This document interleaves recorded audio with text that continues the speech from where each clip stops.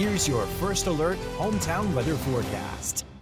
After some heavier showers yesterday and some thunderstorms moving through this morning, watch out for a little bit of fog. Nothing that widespread, but you are running into some visibility issues toward the Blacksburg area, parts of the New River Valley, even into the southeastern parts of the region. You just want to give yourself a little extra time out on the roadways. Still finding a few light showers here and there, but all the heavier rain has exited the area. But we do have a chance of more showers and thunderstorms developing, and there is a marginal risk of severe weather in the southeastern part of the area area. That's at the lowest level of the severe weather scale, but still meaning an isolated strong to severe storm cannot be ruled out. As we head through the morning, we will see a few showers moving through the area, a couple of showers and thunderstorms this afternoon. Then it actually looks like a bigger push of moisture will drive in overnight into tomorrow morning, so you might have a wet morning commute tomorrow morning as well. And just keep in mind, some of this rain could continue to fall heavily at times, leading to some localized flooding. Highs today, 70s, low to mid 80s, with some showers showers and thunderstorms moving across the area.